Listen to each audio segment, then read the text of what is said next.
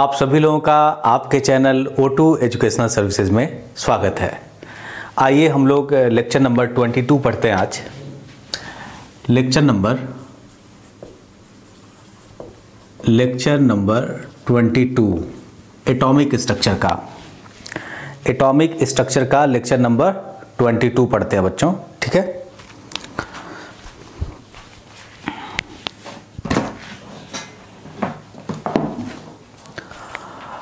इसमें हम लोग पढ़ेंगे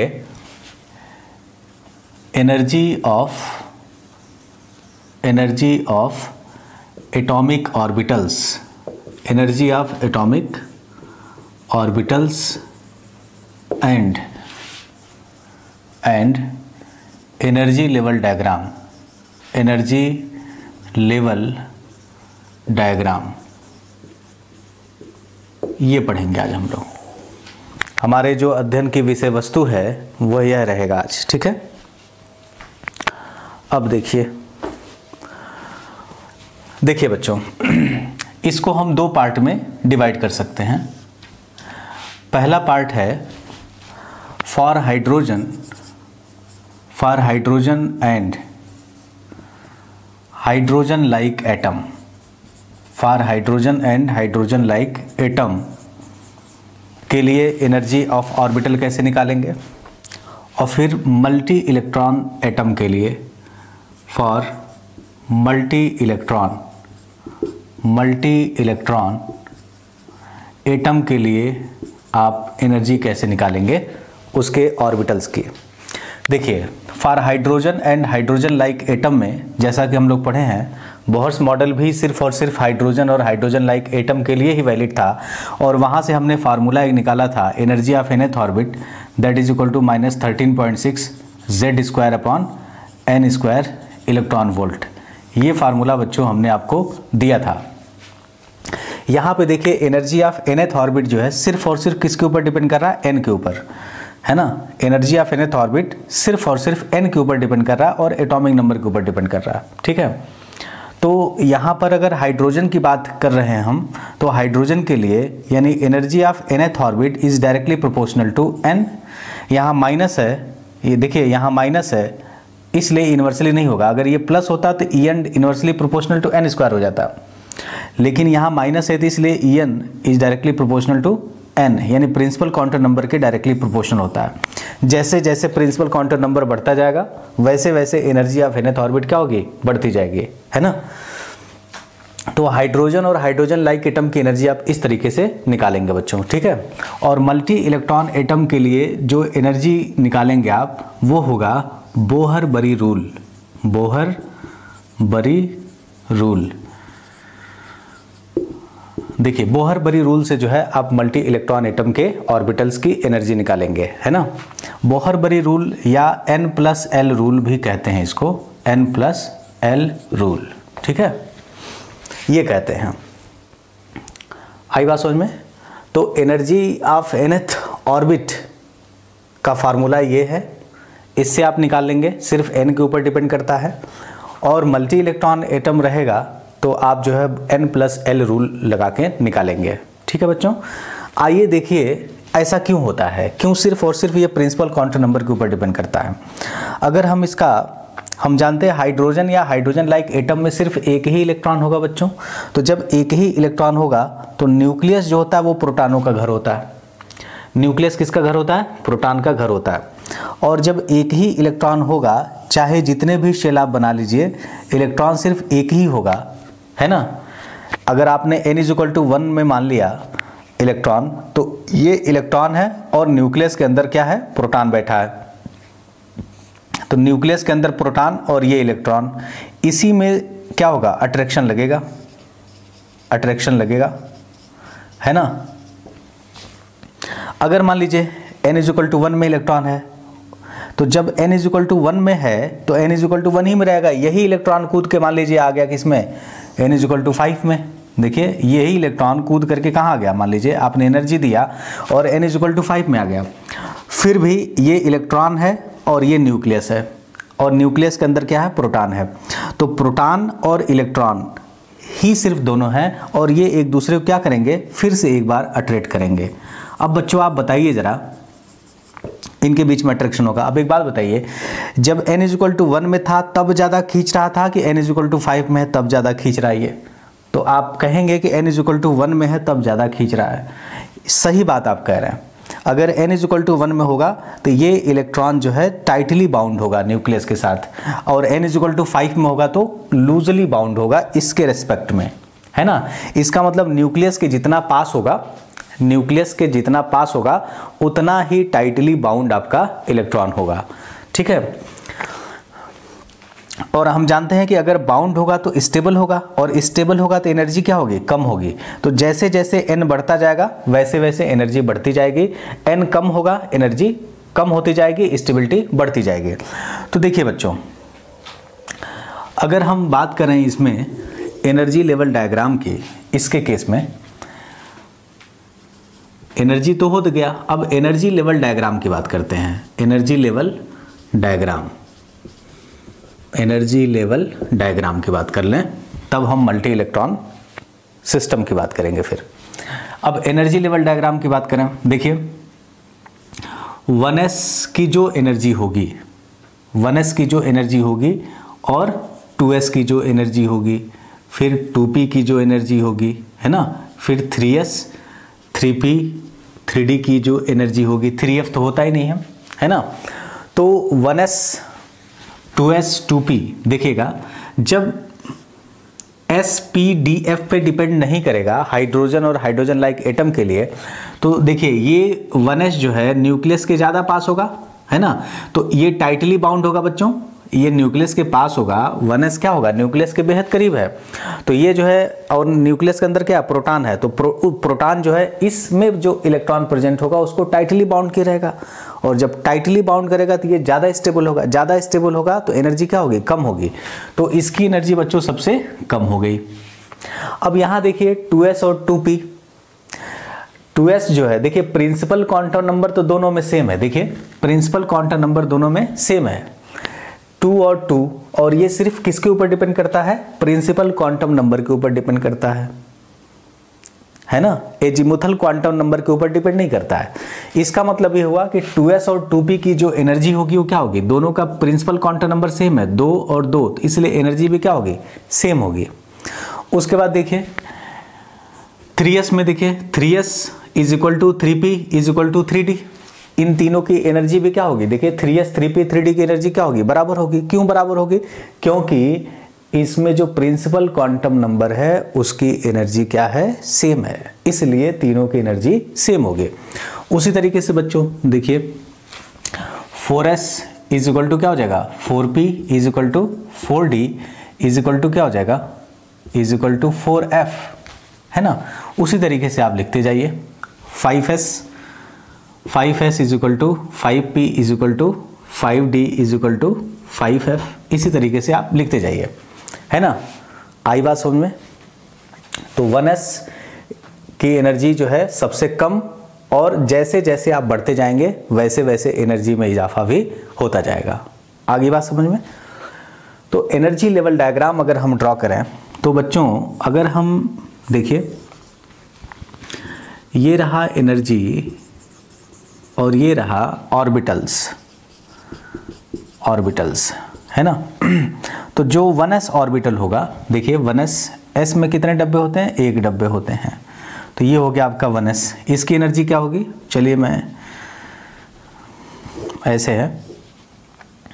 तो चलिए मैं इसकी एनर्जी मान लेता हूँ वन एस की, ठीक है? One S. उसके बाद जो है, वन एस की एनर्जी क्या होगी? सबसे कम होगी। उसके बाद देखिए टू एस, टू पी। ये है टू एस और ये क्या आपका टू पी। दोनों की एनर्जी क्या होगी सेम हो गई। टू एस और टू पी की एनर्जी क्या होगी सेम हो गई। देखिए, इस एक्सिस पे। उसके बाद देखिए आपका क्या है? Three S. थ्री एस और ये क्या हो गया? थ्री पी और ये क्या हो गया? Three D. इन तीनों की एनर्जी क्या हो गई? सेम हो गई। उसी तरीके से अगर मान लीजिए मैं कहूँ फोर एस, वही चीज़ इस पर प्लॉट कर दें। Four S, four P, four D और उसके बाद क्या हो जाएगा? फोर एफ़ तो ये एनर्जी क्या होगी? बराबर होगी सबकी। तो इस, अगर आपने इसको energy versus energy versus different orbitals का ग्राफ ड्रॉ किया तो इस तरीके से अगर आपने डिपिट कर दिया तो इसे ही बोलते हैं एनर्जी लेवल डायग्राम ठीक है ना? तो ये रहा बच्चों हाइड्रोजन और हाइड्रोजन लाइक एटम के लिए है ये। है ना? मल्टी इलेक्ट्रॉन के लिए नहीं है। क्योंकि हाइड्रोजन और हाइड्रोजन लाइक एटम में सिर्फ़ न्यूक्लियस होता है और एक इलेक्ट्रॉन होता है। बीच में कोई भी मीडिएटर नहीं है, इसीलिए सिर्फ़ और सिर्फ़ ये प्रिंसिपल क्वांटम नंबर के ऊपर डिपेंड करता है। यही हाल मल्टी इलेक्ट्रॉन एटम के लिए नहीं होगा बच्चों, है ना? आई बात समझ में? तो आप इसका स्क्रीनशॉट ले लीजिए, उसके बाद हम लोग मल्टी इलेक्ट्रॉन्स के लिए पढ़ते हैं।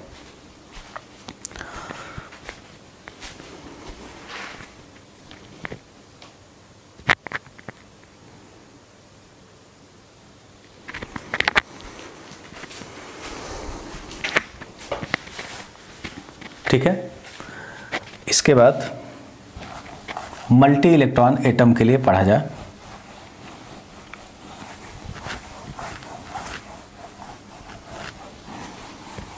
और देखेंगे कि मल्टी इलेक्ट्रॉन के लिए क्यों मल्टी इलेक्ट्रॉन के लिए क्यों यह सिर्फ़ प्रिंसिपल क्वांटम नंबर के ऊपर डिपेंड नहीं कर रहा है, बल्कि एजिमुथल क्वांटम नंबर या सब्सिडरी क्वांटम नंबर या मैग्नेटिक मोमेंट क्वांटम नंबर के ऊपर भी डिपेंड कर रहा है।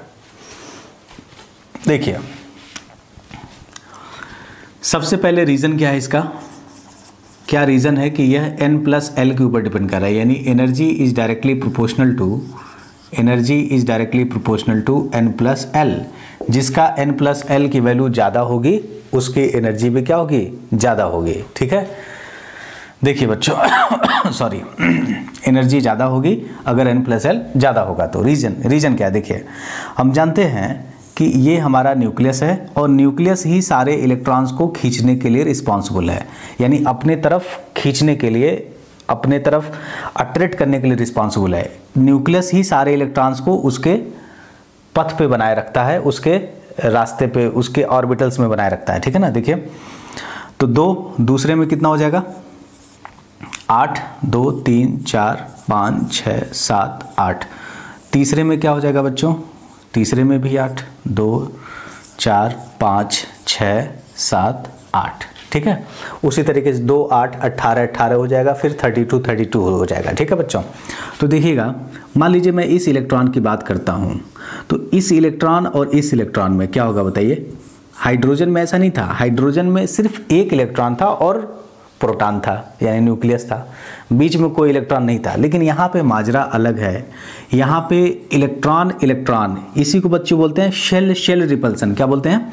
शेल शेल रिपल्सन तो देखिए, यहाँ पे क्या है? रिपल्सन है। यहाँ पे है बच्चों रिपल्सन अच्छा इस इलेक्ट्रॉन में और न्यूक्लियस के बीच में क्या है? अट्रैक्शन है ना? इस इलेक्ट्रॉन और न्यूक्लियस के बीच में क्या है? अट्रैक्शन तो दो फोर्सेस काम करती हैं इसमें अट्रैक्शन तो रिपल्सन भी है और अट्रैक्शन भी है. तो अगर if attraction if attraction is greater than repulsion if attraction is greater than repulsion then then the orbital will be orbital will be more stable orbital ज़्यादा स्टेबल होगा बच्चों। है ना? अगर अट्रैक्शन ज़्यादा होगा रिपल्सन से तो ऑर्बिटल ज़्यादा स्टेबल होगा। वैसे हर हाल में अट्रैक्शन ज़्यादा ही होता है। रिपल्सन कभी भी डोमिनेट नहीं करता बच्चों। है ना? तो अट्रैक्शन ज़्यादा होता है, लेकिन ये अट्रैक्शन इस, देखिए अट्रैक्शन अट्रैक्शन जो है, ये प्रभावित होता है अफेक्टेड होता है रिपल्सन की वजह से। देखिए, अगर सेल्स ज़्यादा होंगे, देखिए, अगर मैंने सेल्स और बनाए तो जैसे जैसे सेल बनेंगे, वैसे वैसे इलेक्ट्रॉन इलेक्ट्रॉन रिपल्सन क्या होगा? बढ़ता जाएगा। अब ये रिपल्सन इसमें है, अगर इसमें भी इलेक्ट्रॉन है तो इसमें भी जो है रिपल्सन होगा। तो जैसे जैसे सेल्स बढ़ते जाएँगे, वैसे वैसे रिपल्सन क्या होगा? बढ़ता जाएगा, और रिपल्सन बढ़ेगा तो अट्रैक्शन भी उसी रेशियो में क्या होगा? कम होता जाएगा बच्चों। और जब कम होता जाएगा तो आउटर मोस्ट इलेक्ट्रॉन को ये न्यूक्लियस जो है खींच नहीं पाएगा। ठीक है ना? तो देखिए, इसी को बोलते हैं जेड इफ़ेक्टिव क्या बोलते हैं? जेड इफ़ेक्टिव जेड इफ़ेक्टिव होता है जेड माइनस सिग्मा और सिग्मा होता है बच्चों स्लेटर कांस्टेंट ये हम लोग बात करेंगे थर्ड चैप्टर में, ठीक है ना? This is called Slater constant ठीक है ना? इसका मतलब ये हुआ कि जितने फोर्स से, जितने फोर्स से न्यूक्लियस आउटर मोस्ट इलेक्ट्रॉन को खींचता है, उतना फोर्स इसे मिल नहीं पाता है। क्योंकि बीच में धक्का मुक्की चल रही है, बीच में लड़ाइयाँ चल रही हैं। अगर ये बिल्कुल शांत हो जाते, अगर सेल सेल रिपल्सन नहीं होता, अगर सेल सेल रिपल्सन नहीं होता तो ये न्यूक्लियस इस इलेक्ट्रॉन को जितना फोर्स से खींच रहा है, ये उतने ही फोर्स से खींच जाता है इधर। लेकिन ऐसा नहीं है। तो इसीलिए बच्चों जेड इफ़ेक्टिव क्या होगा? जेड माइनस सिग्मा, और सिग्मा क्या बोलते हैं इसको? स्लेटर कांस्टेंट ठीक है ना? इसीलिए एक टर्म बनाया गया जेड इफ़ेक्टिव यानी आपको, यानी सिग्मा क्या बताएगा? इसी सिग्मा को बच्चों स्लेटर कांस्टेंट बोलते हैं या शील्डिंग इफ़ेक्ट बोलते हैं इसी को। क्या बोलते हैं? शील्डिंग इफ़ेक्ट इसको हम लोग बहुत डिटेल में पढ़ेंगे। अभी तो हम आपको सिर्फ़ बता रहे हैं कि मल्टी इलेक्ट्रॉन के लिए सिर्फ़ प्रिंसिपल क्वांटम नंबर के ऊपर एनर्जी क्यों नहीं डिपेंड करती है? आइए देखिए। सबसे पहले जो सबसे लाता बच्चों, वो एस है। तभी तो आप जब भरते हैं तो वन एस वन से कौन चिपका हुआ है? यानी N is equal to one में कौन आता है? वन एस ही आता है, देखिए। एन इज़ इक्वल टू देखिए, अगर मान लीजिए बच्चों एन की वैल्यू वन है तो एल की वैल्यू क्या होगी? ज़ीरो एन की वैल्यू वन है तो एल की वैल्यू क्या होगी? ज़ीरो और L is equal to zero पे क्या होता है? एस सब शेल क्या होता है? एस सब शेल तो N is equal to one में क्या होगा? सिर्फ़ वन एस ही होगा, है ना? टू के लिए देखते हैं। टू के लिए जब आप बात करेंगे तो N is equal to two के लिए तो एल की वैल्यू क्या होगी? ज़ीरो और वन तो L is equal to zero पे क्या हो जाएगा? L is equal to zero पे एस हो गया और L is equal to one पे क्या हो गया? पी तो दो ही चीज़ें जो है ज़िंदा होती हैं इसमें। N is equal to two पे दो चीज़ें हैं, देखिए। कौन है? एक जो है, मान लीजिए टू एस है और दूसरा क्या है? टू पी है। देखिए टू एस और टू पी है। तो सबसे करीब कौन होता है? वन एस होता है। तो न्यूक, यानी सबसे जो पहला डब्बा है बच्चों, सबसे जो पहला ऑर्बिटल है, जो न्यूक्लियस के बिल्कुल पास है है ना, वो कौन सा सबसेल है? S subshell. एस सबसेल जो है न्यूक्लियस के बेहद पास है। Order of distance of, order of distance of various subshell various subshell from the from the nucleus. From the nucleus S subshell सबसे पास है, उसके बाद देखिए, सबसे पास क्या है? एस उसके बाद देखिए, सबसे दूर कौन है? एफ़ फिर डी फिर उसके बाद पी उसके बाद एस डिस्टेंस के फॉर्म में लिखते बच्चों, है ना? Order of distance of various subshell from the nucleus तो सबसे ज़्यादा डिस्टेंस किसका? एफ़ का, और सबसे कम डिस्टेंस किसका? एस का. तो ये बताइए, सबसे टाइटली बाउंड कौन होगा? एस जो है, ये क्या होगा? टाइटली बाउंड होगा। Tightly bound from the nucleus tightly bound from the nucleus tightly bound from the nucleus जब ये टाइटली बाउंड होगा बच्चों एस जो है टाइटली बाउंड होगा और सबसे लूजली बाउंड कौन होगा? एफ़ एफ़ में जो इलेक्ट्रॉन होंगे, वो न्यूक्लियस से बेहद दूर होंगे, है ना? तो जो जेड इफ़ेक्टिव होगा, जो यानी जो प्रोटॉन का जो फोर्स होगा, वो सबसे ज़्यादा किस पे लगता है? एस पे लगता है। ठीक है ना? तो बच्चों, जब एस पे ज़्यादा लगेगा तो ये बाउंड हो गया। अब बाउंड हो गया माने स्टेबल हो गया, यानी इसकी एनर्जी क्या होगी? कम हो गई। इसकी एनर्जी क्या होगी? कम हो गई। ठीक है ना?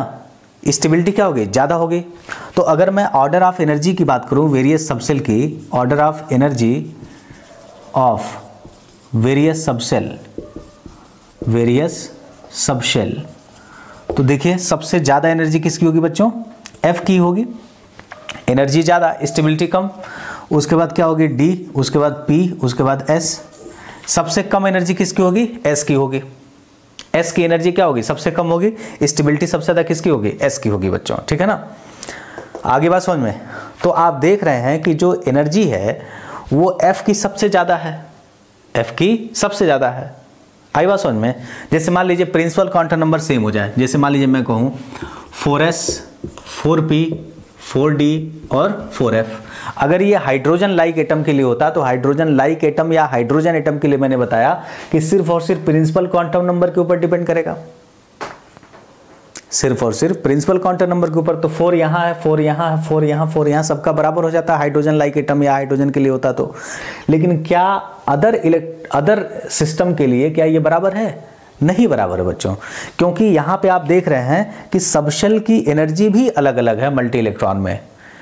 है ना? मल्टी इलेक्ट्रॉन में सब सेल की एनर्जी अलग अलग है। क्यों अलग अलग है? क्योंकि जितने फोर्स से इलेक्ट्रॉन आउटर मोस्ट इलेक्ट्रॉन को जितने फोर्स से न्यूक्लियस आउटर मोस्ट इलेक्ट्रॉन को खींच रहा है, वह फोर्स, वह इलेक्ट्रॉन जो बाहर है, वह महसूस नहीं कर रहा है। बीच में धक्का मुक्की ज़्यादा हो रही है। बीच में रिपल्सन हो रहा है। इसीलिए जेड इफ़ेक्टिव बदलता है और जब जेड इफ़ेक्टिव बदलेगा तो वेरियस सबसेल्स का जो खिंचाव होगा न्यूक्लियस के साथ, वो अलग अलग होगा। इसीलिए सिर्फ़ एन पे नहीं बच्चों एस पी डी एफ़ यानी वेरियस सबसेल्स के ऊपर भी एनर्जी मल्टी इलेक्ट्रॉन सिस्टम में डिपेंड करती है। ठीक है? तो देखिए सबसे ज़्यादा एनर्जी सबसे ज़्यादा स्टेबल कौन हो जाएगा? फोर एस न्यूक्लियस के बेहद पास होगा, उसके बाद फोर होगा, उसके बाद फोर डी होगा और सबसे दूर कौन होगा बच्चों? फोर एफ़ होगा। है ना? न्यूक्लियस को सबसे न्यूक्लियस से सबसे करीब कौन होगा? फोर एस और सबसे दूर कौन होगा? फोर एफ़ फोर एफ़ सबसे दूर होगा, सबसे पास फोर एस होगा। तो सबसे ज़्यादा एनर्जी किसकी होगी? फोर एफ़ की एनर्जी सबसे ज़्यादा होगी और स्टेबिलिटी क्या होगी? सबसे कम होगी। फिर ये फिर ये। ठीक है ना?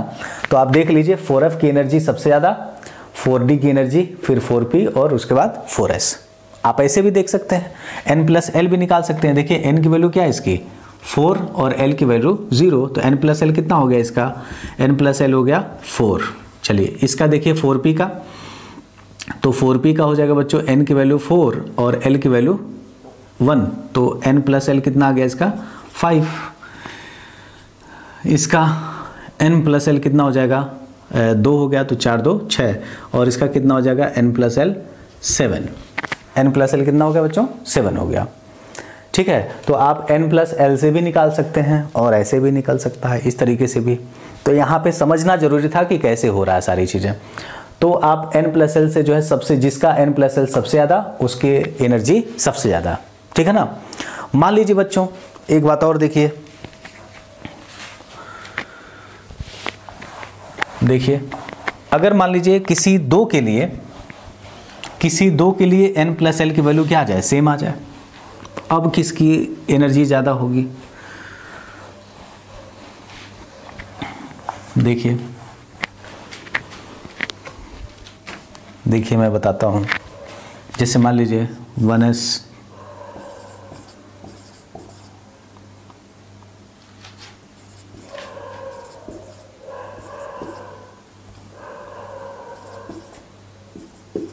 जैसे मान लीजिए ये है, और मुझे इसका पता करना है। तो n की वैल्यू कितनी है बच्चों? वन, और l की वैल्यू ज़ीरो। तो n प्लस एल कितना हो गया? वन। इसके लिए n प्लस एल कितना हो गया? टू। इसके लिए n प्लस एल कितना हो गया बच्चों? दो एक तीन। इसके लिए n प्लस एल कितना हो गया बच्चों? थ्री। इसके लिए n प्लस एल कितना हो गया? n plus L four. इसके लिए कितना हो गया? l की वैल्यू थ्री और दो। तीन दो पाँच। ये हो गया पाँच, और ये क्या हो गया? N plus L that is equal to four ठीक है? तो देखिए, n प्लस एल जिसका ज़्यादा होगा, उसकी एनर्जी ज़्यादा होगी। तो सबसे ज़्यादा एनर्जी किसकी बच्चों? थ्री की एनर्जी सबसे ज़्यादा है। अब n प्लस एल जिसका कम है, उसकी एनर्जी भी क्या होगी? कम होगी और स्टेबिलिटी ज़्यादा होगी। तो सबसे ज़्यादा स्टेबल कौन है इसमें? वन एस है ना? सबसे ज़्यादा स्टेबल का होगा? वन एस या कहूँ सबसे कम एनर्जी किसकी होगी? वन एस की। उसके बाद किसकी हो जाएगी? वन के बाद कौन है? टू देखिए टू एस की। उसके बाद किसकी होगी? अब यहाँ देखिए बच्चों। यहाँ देखिए। यहाँ देखिए टू पी के लिए और थ्री एस के लिए एन प्लस एल क्या हो गया? सेम हो गया। है ना? देखिए टू पी और थ्री एस के लिए एन प्लस एल क्या हो गया? सेम हो गया। तो जिसका जिसका एन छोटा होगा जिसका एन छोटा होगा, उसकी एनर्जी क्या होगी? छोटी होगी बच्चों, है ना? जिसका एन छोटा, उसका एनर्जी छोटा। तो देखिए टू पी पहले आएगा, उसके बाद जो है आपका थ्री पी आएगा, ठीक है ना? सॉरी थ्री थ्री एस पहले टू पी फिर थ्री एस उसके बाद क्या आएगा? देखिए एन प्लस एल की वैल्यू फोर और फोर एस की वैल्यू भी, यहाँ भी देख लीजिए। देखिए थ्री पी की वैल्यू थ्री पी के लिए एन प्लस एल फोर है और फोर एस के लिए भी एन प्लस एल क्या फोर है। तो इन दोनों में सबसे पहले कौन रखा जाएगा? यानी सबसे कम एनर्जी किसकी होगी? जिसकी एन सबसे कम होगा। तो यहाँ पे थ्री पी आ जाएगा बच्चों, और उसके बाद क्या आएगा? फोर एस आएगा, और उसके बाद क्या आएगा? थ्री डी आएगा। तो अगर हम इलेक्ट्रॉन फिल करें तो इलेक्ट्रॉन सबसे पहले मोस्ट स्टेबल ऑर्बिटल में जाएगा तो सबसे पहले वन एस में जाएगा, और सबसे लास्ट में कहा जाएगा? थ्री डी में जाएगा। तो बच्चों, ये रहा रीजन के साथ कि किस तरीके से जो है आप, अगर मैं, किस तरीके से जो है आप किसी भी ऑर्बिटल की एनर्जी बता सकते हैं। अगर एनर्जी लेवल डायग्राम की बात करूँ मैं, इस केस में तो ये रहा एनर्जी एक्सिस और उसके बाद ये ऑर्बिटल्स की बात करूँ तो सबसे कम एनर्जी होगी बच्चों वन एस की, उसके बाद एनर्जी होगी टू एस की, उसके बाद टू पी की उसके बाद थ्री एस की, उसके बाद फोर एस की और उसके बाद किसकी होगी? थ्री डी की। तो देखिए, जैसे जैसे हम ऊपर चलते चले जा रहे हैं एनर्जी हमारी क्या हो रही है? बढ़ती जा रही है। देखिए, बढ़ती जा रही है। तो सबसे कम एनर्जी किसकी होगी? वन एस की।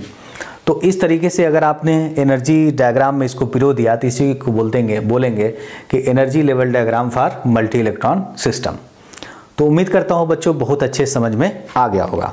ठीक है? तो आज के बाद से जब भी एनर्जी की निकालने की बात हो तो आप ये बात जान जाइए कि जिसकी एनर्जी जिसकी एनर्जी जिसका एन प्लस एल ज़्यादा होगा, उसकी एनर्जी ज़्यादा होगी। जिसका एन प्लस एल कम होगा, उसकी एनर्जी कम होगी। ठीक है? अगर सेम आ जाए तो जिसका एन छोटा होगा, उसकी एनर्जी छोटी होगी। और जिसका एन बड़ा होगा, उसकी एनर्जी बड़ी होगी। आइए बच्चों, एक तरीके का प्रॉब्लम और आता है इसमें। एक तरीके का प्रॉब्लम और आता है, जिसको जानना बहुत ज़रूरी है। जैसे, अगर सेम सबसेल की बात कर दे बच्चों सेम सबसेल की बात कर दे एनर्जी ऑफ़ सेम सबसेल देखिए energy of same subshell energy of same subcell in different element in different element ये बच्चों बहुत इंपॉर्टेंट है ये, है ना? Energy of same subshell in different element है ना? देखिए, जैसे मान लीजिए पूछ दे कि एनर्जी ऑफ़ टू एस आप हाइड्रोजन में बताइए। फिर एनर्जी ऑफ़ टू एस ही आप किसमें बताइए? लिथियम में। फिर एनर्जी ऑफ़ टू जो है ये बता दीजिए आप आ, सोडियम में। और एनर्जी ऑफ़ टू ही बताइए पोटेशियम में। इस तरीके का प्रॉब्लम आ जाए। तो फिर आप एनर्जी कैसे निकालते हैं? देखिए पहली बात कि अगर बेटा सेम सबसेल हो जैसे टू एस यहाँ है टू एस यहाँ है टू एस यहाँ है और टू एस यहाँ है। देखिए दो चीज़ें मैं सिर्फ़ ये नहीं कहूँगा कि सबसेल ही सेम है। देखिए वेन इसको सॉल्व करते हैं। When principal quantum number when principal quantum number and subshell subshell are same are same for different element या atom different atom then then energy inversely proportional to, energy inversely proportional to atomic number. Atomic number. ठीक है ना? जिसका atomic number ज़्यादा होगा, उसकी energy कम होगी। और जिसका एटॉमिक नंबर कम होगा, उसकी एनर्जी ज़्यादा होगी। तो बताइए, यहाँ हाइड्रोजन है, यहाँ लिथियम है, यहाँ सोडियम है और यहाँ पोटेशियम है। तो किसकी एटॉमिक नंबर कम है? तो हाइड्रोजन के कम है तो इसकी एनर्जी क्या होगी? ज़्यादा होगी। तो जो ऑर्डर बनेगा बच्चों तो energy of two S for hydrogen is greater than energy of two S for lithium is greater than energy of two S for sodium is greater than energy of two S in potassium ठीक है बच्चों? आखिर इसके पीछे reason क्या है बच्चों? क्या रीज़न है? किस तरीके से आप एक्सप्लेन करेंगे?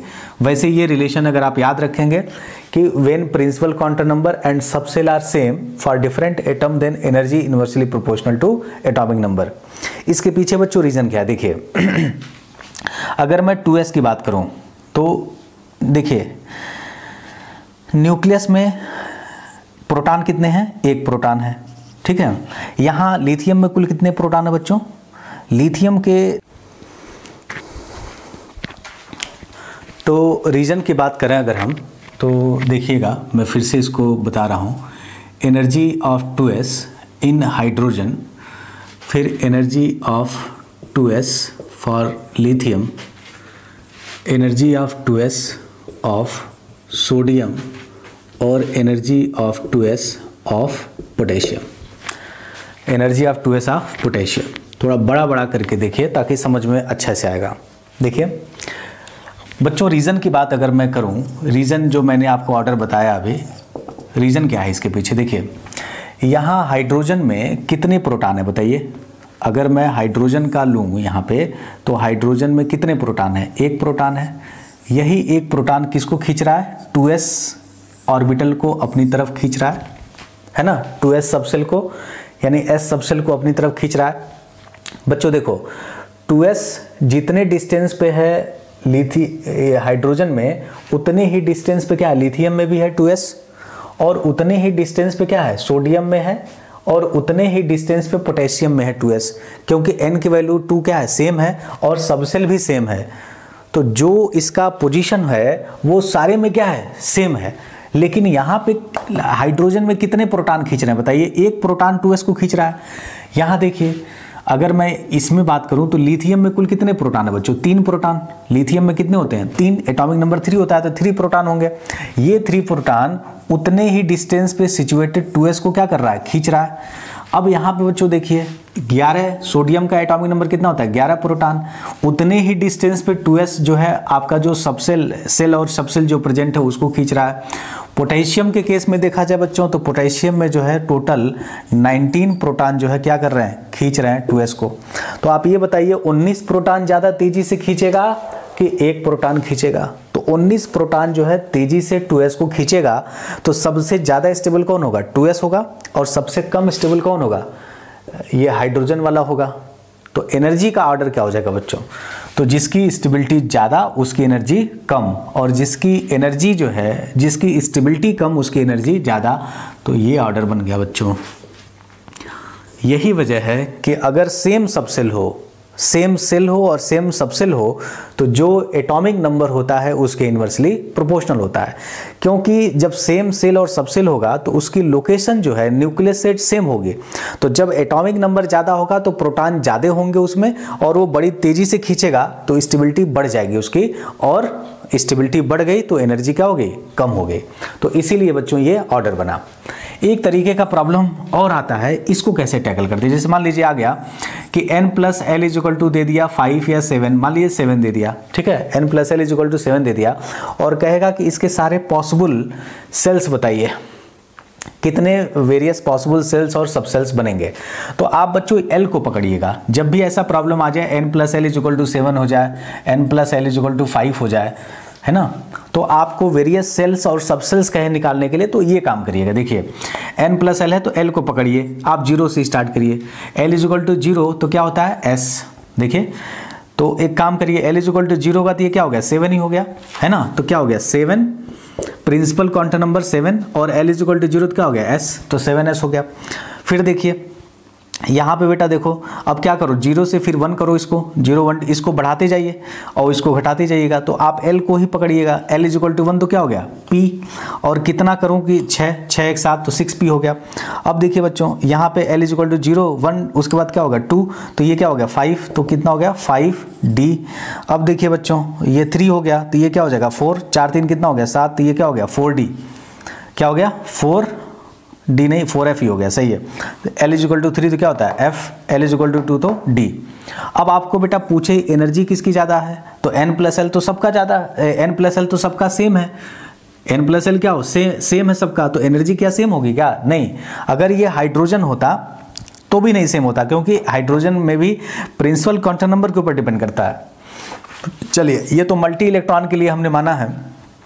तो मल्टी इलेक्ट्रॉन में बताइए, जिसका एन प्लस एल सबसे ज़्यादा, उसकी एनर्जी सबसे ज़्यादा, लेकिन यहाँ पे एन प्लस एल सेम है। तो जिसका एन कम, उसकी एनर्जी कम। तो सबसे कम किसकी हो जाएगी? फोर एफ़ की। उसके बाद किसकी होगी? फाइव डी की। उसके बाद सिक्स पी की। और सबसे ज़्यादा एनर्जी होगी बच्चों, सेवन एस की। ये है आपका। उसी तरीके से एन प्लस एल फाइव में आ जाए, तब क्या करेंगे आप? ज़ीरो तो ये क्या हो गया? फाइव फाइव एस ये रख दीजिए वन तो ये क्या लेंगे आप? फोर तो फोर पी हो गया बच्चों। ये रखिए टू तो ये क्या हो गया? टू तो टू डी हो गया आपका। है ना? ये रखिए थ्री तो ये क्या हो गया? वन। तो क्या हो जाएगा? वन। ये देखिए वन, और ये क्या हो गया? एफ़ ठीक है? तो बताइए बच्चों, क्या वन एफ़ एग्जिस्ट करता है? नहीं। क्या टू डी एग्जिस्ट करता है? नहीं। तो फिर कितने आ गए? सिर्फ़ दो ही आएँगे फाइव एस और फोर पी ठीक है ना? टू डी एग्जिस्ट नहीं करता, वन एफ़ एग्जिस्ट नहीं करता। डी जो है थ्री से एग्जिस्ट करता है थ्री डी होता है और एफ़ जो है फोर से एग्जिस्ट करता है। तो ये हो गया फाइव एस और ये फोर पी तो सबसे ज़्यादा एनर्जी किसकी होगी? जिसका एन ज़्यादा होगा। तो देखिए फोर पी की एनर्जी कम और फाइव एस की एनर्जी ज़्यादा। तो ये हो गया ऑर्डर तो इस तरीके से आप प्रॉब्लम को टैकल कर लीजिएगा। ठीक है? आई बात समझ में? अब देखिए, एक तरीके का प्रॉब्लम और पूछा जाता है एग्ज़ाम में। देखिए। जैसे मान लीजिए, दे दिया टू एस, टू पी और थ्री डी। ये मान लीजिए दे दिया और ये बना दिया न्यूक्लियस। तो पूछेगा आपसे कि इस न्यूक्लियस का फोर्स जो है, देखिए, इस न्यूक्लियस का फोर्स या इस न्यूक्लियस का अट्रैक्शन किस सेल और सबसेल पे ज़्यादा है? तो देखिए, मैंने अभी बताया आपको कि एस जो है सबसे करीब होता है। देखिए, टू एस और टू पी देखिए प्रिंसिपल क्वांटम नंबर तो सेम है, लेकिन सबसेल जो है, यहाँ पे सबसेल डिसाइड करेगा। तो एस जो है, ज़्यादा पेनिट्रेटिंग होता है। पेनिट्रेटिंग माने क्लोजर टू द न्यूक्लियस होता है। तो एस पे ज़्यादा इफ़ेक्ट पड़ेगा। यानी टू एस पे ये जो है टाइटली बाउंड होगा बच्चों कैसा बाउंड होगा? टाइटली टी से टाइटली बी से बाउंड टाइटली बाउंड होगा। और थ्री जो है न्यूक्लियस से दूर है तो ये क्या होगा? लूजली बाउंड होगा। ठीक है ना? उसी तरीके से मान लीजिए, ये न्यूक्लियस दे दिया और कहा four four P four D four F तो सबसे टाइटली बाउंड कौन होगा? तो यहाँ देखिए सब फोर फोर सेम है। तो आप ऑर्बिटल पे जाइए। सॉरी सब सबसेल पे जाइए। तो फोर एस सबसेल जो है सबके न्यूक्लियस करीब होगा। तो दिस इज़ टाइटली बाउंड और ये क्या होगा? लूजली बाउंड तो इस तरीके से प्रॉब्लम अगर आए तो आप बड़े आसानी से टैकल कर सकते हैं। तो बच्चों, आज के लिए बस इतना ही। मेरे साथ बने रहने के लिए ओ एजुकेशनल सर्विसेज़ के साथ बने रहने के लिए आप सभी लोगों का बहुत बहुत धन्यवाद।